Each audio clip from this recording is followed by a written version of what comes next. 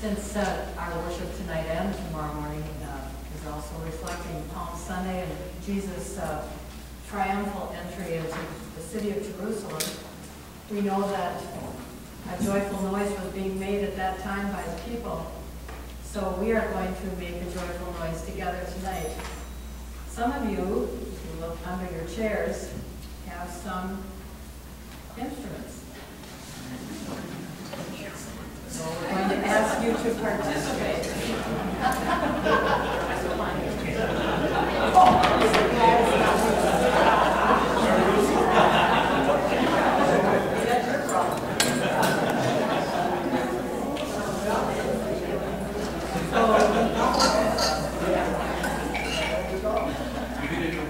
Nobody is going to correct you or say it's right or wrong. We're going to make that motion together.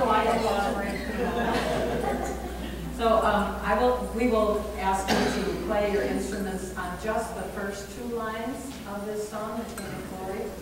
And when we get to the verses, we will sing them. And notice that there's um, certain places where you will sing and won't sing. We'll have all of you sing on verse one and five, and then the women take verse two, and then verse three, and we'll take verse four. So a lot to think about. But